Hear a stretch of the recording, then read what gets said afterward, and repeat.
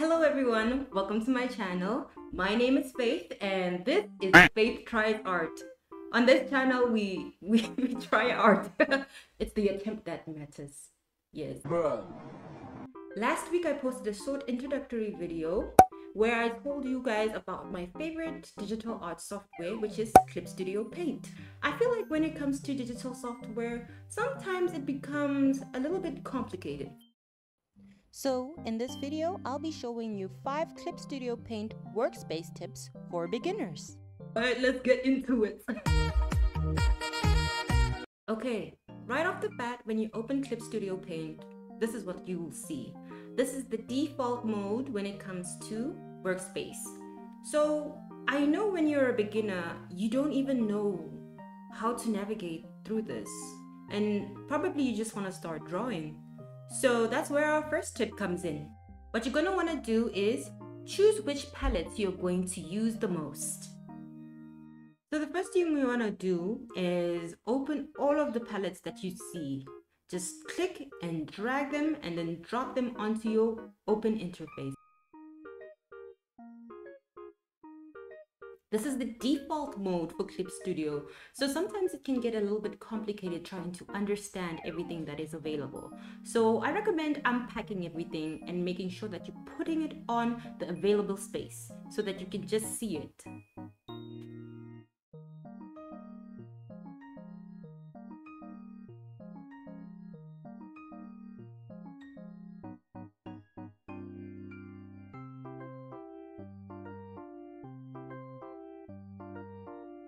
Right now it looks like an absolute mess. It looks like a clutter. But trust me, as a beginner, I wish this was the first step that I took because I didn't know what was available for me. So what you're gonna wanna do is close every single one of these panels. I know, I know. You're gonna ask yourself, why are we closing everything? Bro. Trust the process, trust the process. This is how we come to tip number two, arranging your palette. So what you want to do is navigate to this part that says window. You will see all of the palettes that are available for you, including the ones that were available default. So you will be able to add more than what you had if you need them.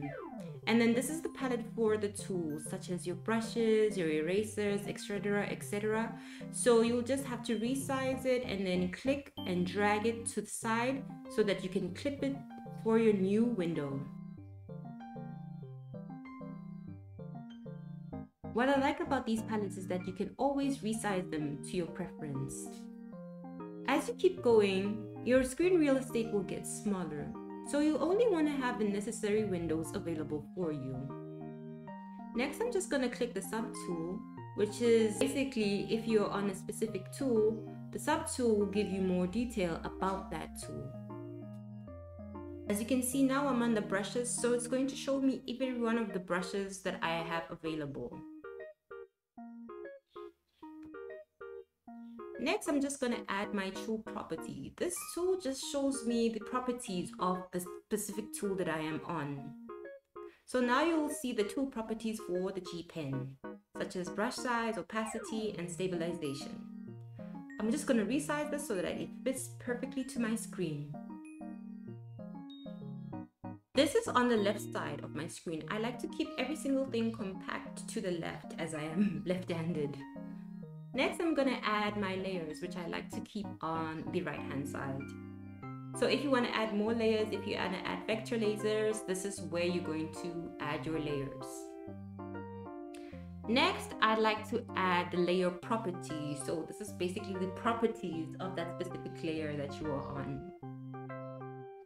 And then next, I like to add the subview. So the subview is basically giving you somewhere that you can put images for references, etc. So as you can see, you can just click over each and every single one of these palettes and see which one you want to use at a specific time. So that's very convenient. And then next I want to add my color wheel. The color wheel I also have like to have it readily available for me to choose colors that I prefer to use. and then next I'm gonna just click the color sets. So the color sets are presets of colors that you can customize that you can make for yourself. Just have it readily available for like let's say you're creating a specific character that you like to use specific colors with. It's very useful when it comes to such things and then this is basically my workspace this is what I like to use. This is how I like to customize my Clip Studio Paint to make it more efficient for me especially. So if you want to add more windows, you are more than welcome to do so. But I think if you're just going to work on illustrations, this is more than okay. So the next step that I have is to register your workspace that you have created.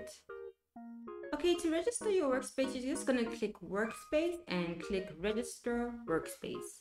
You can name it anything you want. For now, I'm just to name it Faith's workspace.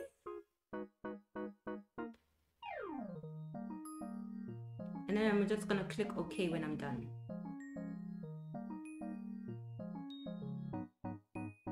So then when you want to use the workspace, you can just navigate again to your windows and then select the default. I'm just going to show you how it's going to look. It's going to go back to the default workspace. Just in case you just don't like the way that the one you created looks and you want to start again, it's always available for you so you're just gonna go again to your window and then click your workspace and then you're gonna navigate to the one that you created and say reload and there you have it your workspace has now been saved and you can use it as you see fit also an option for you to register your workspace as a material. So if you want to save it for future use or just put it on the asset store for other people, which is what I think I will do maybe. If that's what people want, I will put it on the asset store so that people can be able to use it. And then you're just gonna put it in your materials file anywhere that you think it's necessary. Add a tag for it. I'm just gonna name it my workspace or maybe um, workspace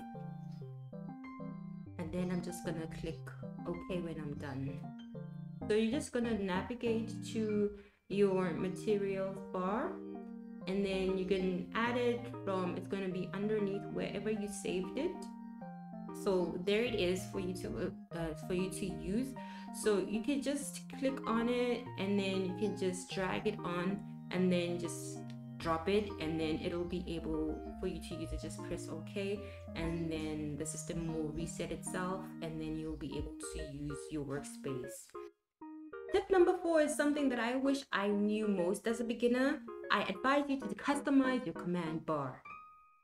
Command bar is the top space that you see here so it this is the default command bar. It comes with Studio Paint, but I assure you some of these things I do not use personally. So you can customize it according to what you may need. So to customize it, just go to the Clip Studio command and then click command bar. So here you will see the commands, menu commands, the tools that are available for you. And all you have to do is click on the command bar to delete something that you know that you're not going to use. So I'm just going to click on these tools that I don't regularly use. They are important, I just don't use them personally. And then I'm just gonna go through the menu commands to see which one of the tools that I need. So you can always customize your command bar to fit your necessary uh, needs. So you don't have to worry about things that have been deleted because they will always be under the tool menu for you to add them again. So I'm just going to show you how to add a tool like I just did. I just added these scissors, which is the cut option, but you can delete it again just to give yourself some space. You can move it. So you have a lot of leeway when it comes to your command bar and how to regulate it and set it up. So I feel like having this available is very necessary, especially when you want quick access to your tools. And last but certainly not the least, get workspace templates at the Clip Studio Asset Store. One of the things that I love most about Clip Studio Paint is the Asset Store. The Asset Store is essentially a treasure trove, God's gift to artist kind when it comes to getting materials. So to look for a workspace, all you have to do is go to the search bar and type workspace.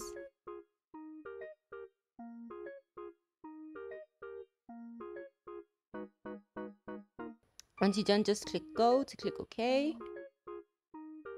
And there you have it. You will see all of the workspaces that have been posted by users of Clip Studio Paint. So you can choose anyone that is going to be compatible with your device and the version of Clip Studio Paint that you have.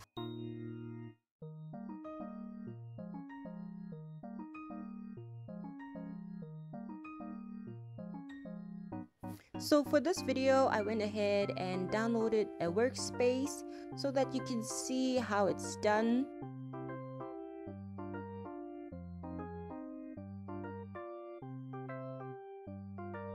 It's just gonna say re-download, which I don't have to do. And then I'm just gonna go to my materials bar and I'm gonna open underneath my downloads. That's where it will appear. So all you have to do is just click on it and then you can just drag it onto your canvas and then it will open.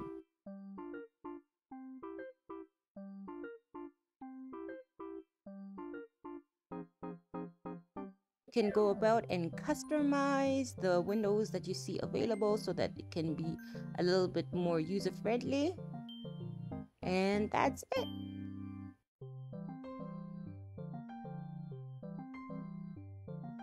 Again, here are the tips for you. First thing you're gonna wanna do is choose which palette you're going to use the most. The second is arrange the palettes according to your preferences. Next, you're gonna wanna register and save your workspace. And then next, customize your command bar. And then don't forget to visit the Clip Studio Asset Store. Once you've done all of that, you can finally start drawing. Okay. Drawing on Clip Studio Paint can be a little bit overwhelming at first, but as you get used to the software, it becomes the best software you've ever used for digital art because it has so many available features for you to use. So at the end of the day, it's just about giving it a chance and getting used to the software. I've decided to add a time-lapse video so you can see the results of my drawing, but I hope at the end of this video you are able to create your own workspace and you're confident enough to create your own illustrations. Please come and follow me on my socials. This is my Twitter and Instagram handles, so you're more than welcome to come and follow me. Please don't forget to subscribe to my video, and thank you again for watching. I'll see you in the next one. Bye!